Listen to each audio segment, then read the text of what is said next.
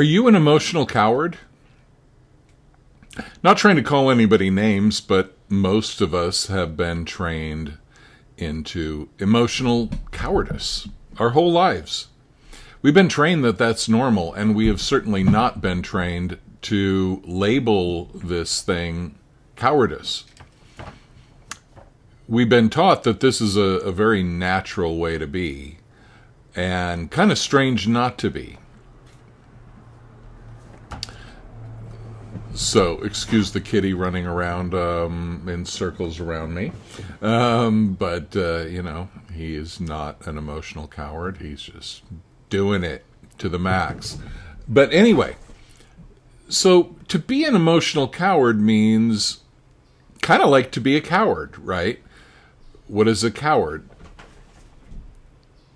It's the opposite of somebody that's brave. So brave is feel the fear and do it anyway. So what would an emotional coward be? It'd be somebody who can't just feel the feeling. Right? It's like if if you're brave, you do not shy away from having the feeling. Whether it's a traditional idea of a coward versus a brave person, somebody who's willing to feel the fear and do it anyway.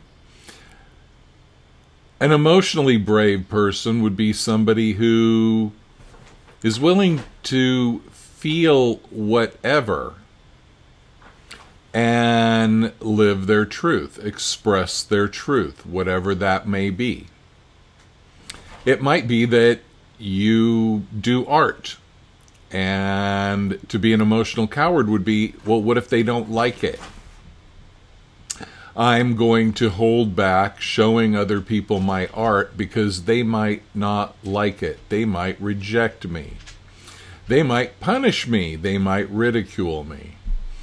And in order to not feel those emotions, you don't show anybody your art.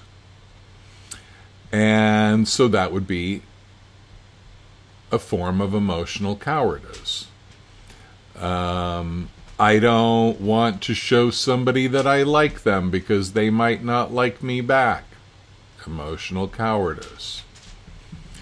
I want to apply for that job, but I might not get it. Oh no, what if I go in for the interview and they just laugh right in my face? Like, how the hell did you think you were going to ever get this job? So I don't even apply. I don't even take a, a chance. We have built our lives around our emotional cowardice. I can't go in the elevator because I'm a little bit claustrophobic. Well, you can go in the elevator and be claustrophobic. And I'm not talking about somebody who has an advanced condition where it would really not be good to go in an elevator and they need to do some other work before they start going in elevators. I'm not talking about go out and subject yourself to an emotional breakdown because you want to prove how emotionally brave you are. I'm talking about the little things. The little decisions in life where we betray our authenticity in favor of our emotional avoidance. So, are you an emotional coward? Think about it. Think about the the the multiple choices you make each day that might just come down to emotional cowardice. And what emotional cowardice really comes down to in the end is the rejection of the inner child who has those emotions. That's what it's all about. Be a champion of your inner, inner child, of your authenticity and your creativity. Be a champion of your uniqueness. Flaunt it for all to see. Don't do anything that's going to get you in jail or, you know, highly punished. I'm not saying that.